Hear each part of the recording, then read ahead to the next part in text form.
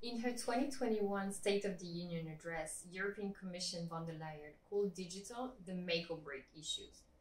And while states have focused on innovation, security, or sovereignty, EDRI has put the attention on rights and freedoms, democracy, and the rule of law. Last year, we saw a growing awareness of the negative consequences of surveillance online advertising on the digital ecosystem, on democracy, and on people. EDRI put on the agenda the need to rein the exploitative dominant business model of big tech as part of the ongoing negotiations at EU level on the Digital Services Act.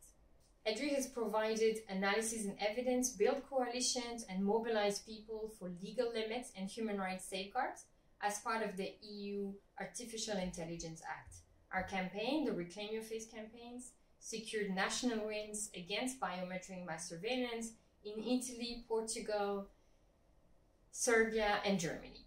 We continued monitoring development and migration controls that affect especially over-policed communities, people on the move, and children. Despite the growing attention, the digital rights field remains severely underfunded and stretched when facing the breadth and complexity of tech regulation and politics. We face unprecedented levels of corporate lobbying, with big tech lobbying budget being 20 times that of EDRI's. While we see the relevance of digital rights issues affecting all sectors of society, from children's rights to racial justice, from the climate crisis to geopolitical tensions and health crises, we only start to scratch the surface to really break the silos between these issues. This is why, together with the Digital Freedom Fund and other partners, we've initiated a process to decolonize the digital rights field and look at how technologies affect all of us.